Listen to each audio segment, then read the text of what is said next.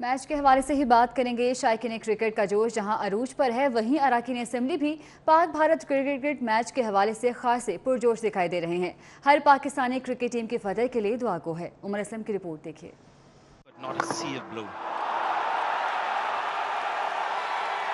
Six. Taking on Ashwin.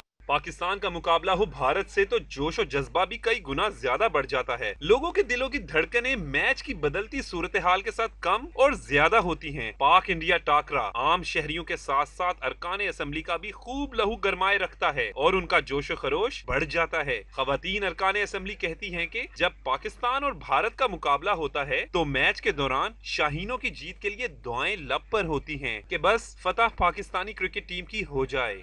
دعا دوں گی، ڈھیروں دعائیں اپنی پوری ٹیم کے ساتھ اور سرفراز سے کہوں گی کہ سرفراز انشاءاللہ دھوکہ نہیں دے گا۔ انڈیا سے مقابلہ ہوتا ہے تو ہمیں ایسے ہی لگتا ہے کہ جیسے کوئی ورلڈ کپ پر ہم جیتنے جا رہے ہیں۔ سو انشاءاللہ ہماری دعائیں بھی بالکل پاکستانی ٹیم کے ساتھ ہیں اور ہم دعا بھی کرتے ہیں اور ہماری نیک تمنائیں بھی پاکستانی ٹیم کے ساتھ ہیں۔ پاکستان اور انڈیا کا جب بھی میچ ہوگا ہم اپنے وطن کے لیے دعا گو ہیں کہ ہمارا ملک جیتے اور انشاءاللہ دعائیں ہیں ہماری ٹیم کے ساتھ۔ مرد ارکان اسمبلی بھی پاک بھارت ٹاکرے کے حوالے سے پرجوش دکھائی دے رہے ہیں۔ کہتے ہیں کہ فتح تو انشاءاللہ پاکستانی کرکٹ ٹیم کی ہوگی۔ اس کے لیے ٹیم کو عمدہ پرفارمنس دینی ہوگی۔ میچ دیکھتا ہوں اور بہت انوالو ہو کے دیکھتا ہوں۔